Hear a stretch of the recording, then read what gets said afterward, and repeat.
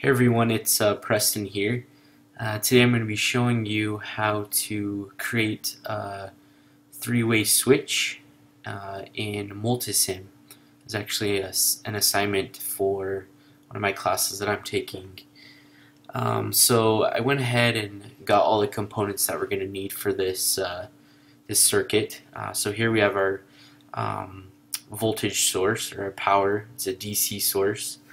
Um, and then here we threw in an ammeter to, to measure the uh, current that's going to be going through um, our circuit. So here we have um, two SPDTs, other otherwise known as a single pole double throw switch. So this is what's going to be our switch um, to turn on and off our light bulb, which is right here. So first thing we need to do is change our voltage source to 120 volts. So we'll do that like that.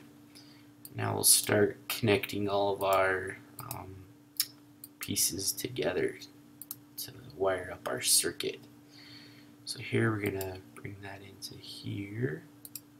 Before we do this, we actually need to flip this um, so that it will work correctly. So we're going to flip it horizontally.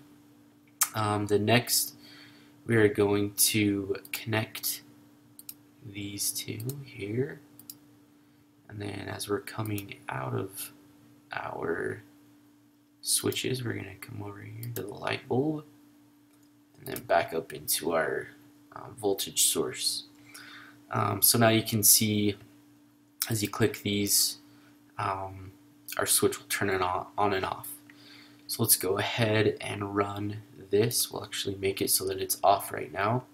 So here we'll click our run. so you can see we're getting nothing right now. So now let's go ahead and turn on our light bulb. So say you could, this is you up at the top of the hallway and then your friend is downstairs and he flips the switch on you and turns off and then you guys have a big long war um, turn the light on and off.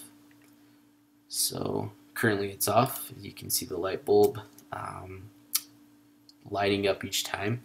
So then as we look at this here where um, our current is 0.833 amps. So if we were to do some math real quick, so let's uh, um, let's see, let's put in a little graphic here. So a text, so our current or our um, current is equal to uh, 0.833 amps.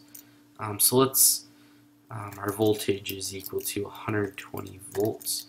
Let's just do this math here to see if our current and voltage equals our 100 watt light bulb, um, which is so what it's supposed to be. So P is equal to um, our voltage times our current.